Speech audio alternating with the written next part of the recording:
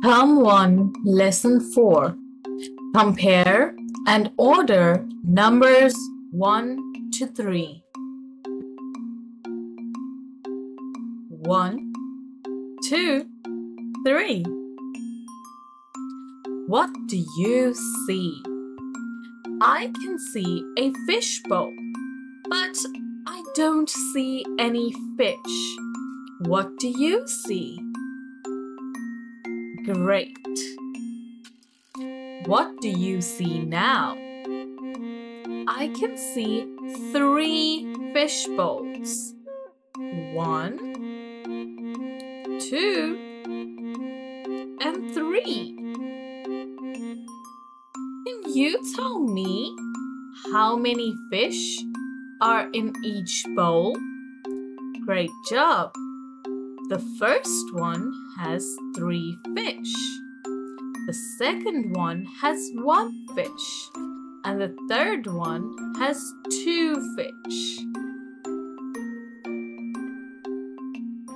Three, one, and two. Now, do you think you can put these three numbers into the correct order? Let's try together.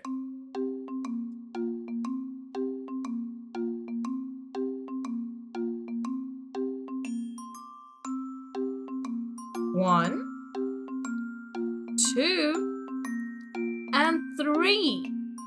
Good job, you guys. That is amazing. Let's move on. Let us practice writing. Two. This is how we write the number 2. And this is how we write the word 2. T W O. T W O spells the number 2.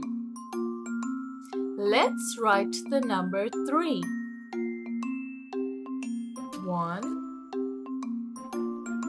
This is how we write the number three. Let's write the word three. T H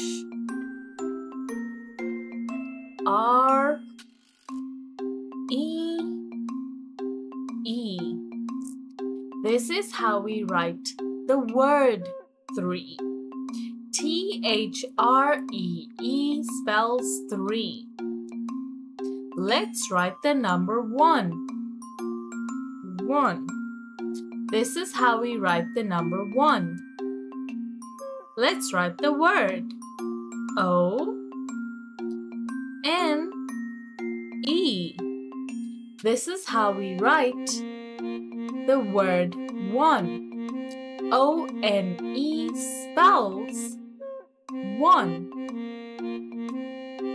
Let us practice reorder these numbers.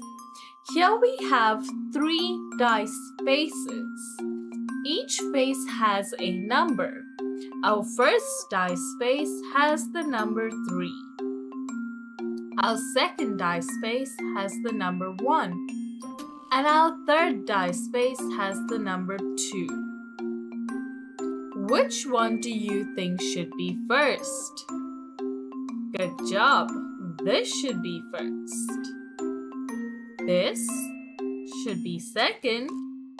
And this one here should go all the way to the end and be number three. Now this is also very complicating. Let's move to our next slide and uncomplicate it. One, two, three. Good job. Circle the vases with the number of flowers in them. The number we are looking at is the number 3. How many of these vases have 3 flowers in them? Good job! That would be 2 vases. 1, 2. Draw, add or subtract circles to make each side equal to 2. In our first square, we have one circle. In our second square, we have two. Do you think we have to draw any more circles? Very well done. We have to draw one more circle in our first square to make both squares equal to the number 2. Until next time, goodbye.